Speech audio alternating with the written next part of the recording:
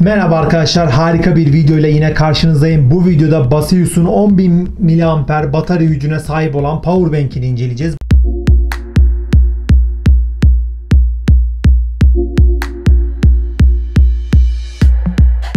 Bu powerbank'i özel yapan nedenlerden bir tanesi hem Type-C girişi hem de micro USB girişi olması arkadaşlar. Yani bu iki seçenekten birisiyle şarj edebiliyorsunuz ve aynı zamanda da 2.1 amper 5 volt çıkışına sahip güzel bir powerbank ama bazı eksi noktaları var. Size bu eksi noktalarından ve powerbank'in nasıl olup olmadığına bahsedeceğim. İlk önce kutusuna şöyle bir bakalım.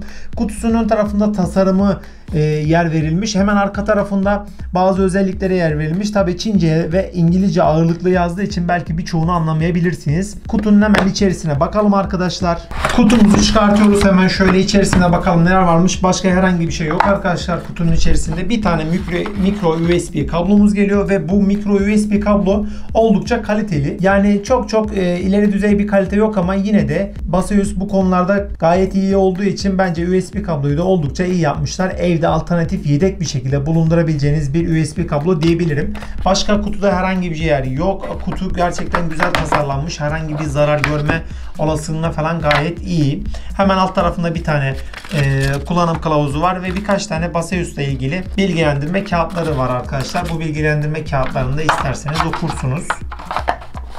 Kutuyu bir kenara bırakalım. Gelelim Powerbank'e. Arkadaşlar Powerbank'in tasarımı aynı bu şekilde. Dış tarafında e, güzel bir malzeme kullanılmış. Plastik. Benim hoşuma gitti. Elde falan güzel duruyor. Hissiyatı falan oldukça iyi ama bazı olumsuz yönleri var tabii ki. E, tasarımın bana karşı olumsuz yönlerden bir tanesi power seviyesini görebilmeniz için yerleştirilen ışıkları e, çoğu zaman arıyor olmanız. Yani ışıkların nerede olduğu belli olmadığı için otomatikman arıyorsunuz. Hatta düğme de yan tarafta olduğu için bazen öbür tarafta mı bu tarafta mı o konuda kararsız kalıp dikkatiniz dağılıyor ve düğmeyi ve şarj giriş yerlerini falan aramak zorunda kalıyorsunuz. Hemen üst tarafa yerleştirilmiş olan e, USB çıkış yeri e, ideal bir konumda ama bana kalırsa bir çıkış daha eklenseydi çok çok daha güzel olurdu. Niçin bir tanecik çıkış eklemiş onu da anlamış değilim Baseus. Alt tarafta yine Powerbank'in bilgilerine yer vermişler arkadaşlar ve bu Powerbank'in bir olumsuz noktası var arkadaşlar onu söyleyeyim. Hızlı şarj oluyor. Hızlı şarj olmasında kesinlikle sıkıntı yok. Kendisi hızlı şarj oluyor ama ben telefonumun hızlı şarj etmediğini düşünüyorum.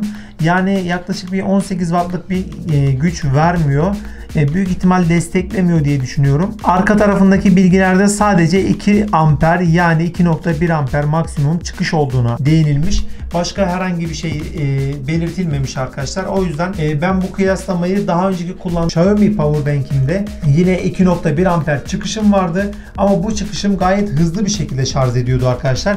Bakın şu an power'ımız dolu. Tabi e, power dolu olduğunda e, ışıkları gayet güzel gözüküyor. Herhangi bir sıkıntı yok ışıkların gözükmesinde.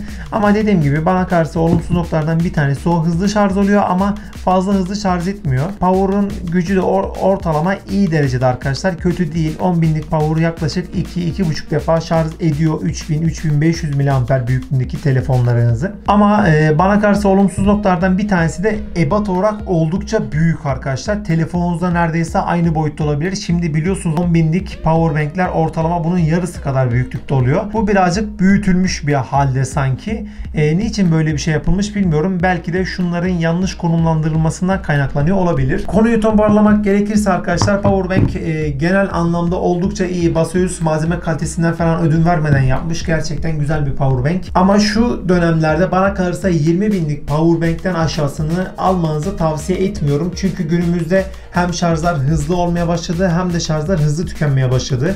İlerleyen zamanlarda o 20 binlik powerbank'in faydasını fazlasıyla göreceğinizi düşünüyorum. Kablolarını görüyorsunuz. Bu kabloların ve tırnak makasının da incelemesini kanalımda bulabilirsiniz.